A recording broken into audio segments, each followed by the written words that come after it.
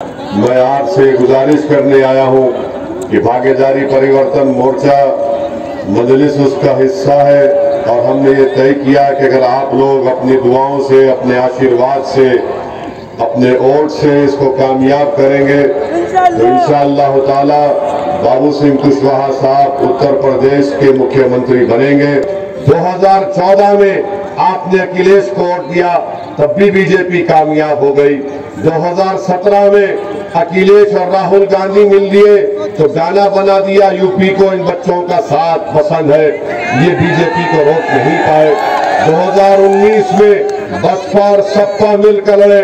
आपने झोली भर भर कर खैरात के तौर पर वोट दिया, तब भी बीजेपी को नहीं रोक पाए।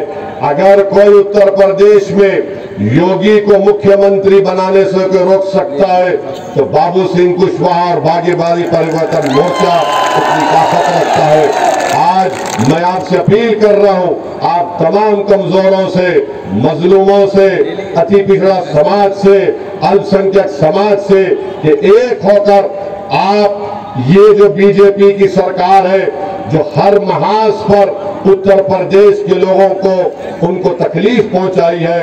आज आपके पास वोट का हथियार है। उस वोट की ताकत को इस्तेमाल करते हुए हमारे भाई भूपेंद्र सिंह साहब को यहाँ पर कन्नी के निशान पर बटन दबाकर उनको कामयाब और कामरान करिए। मोदी कहते हैं कि डबल इंजन की सरकार है, मगर ये सब इनकी जुमलाबाजी है। झूठ बोलना इनकी आदत बन चुकी।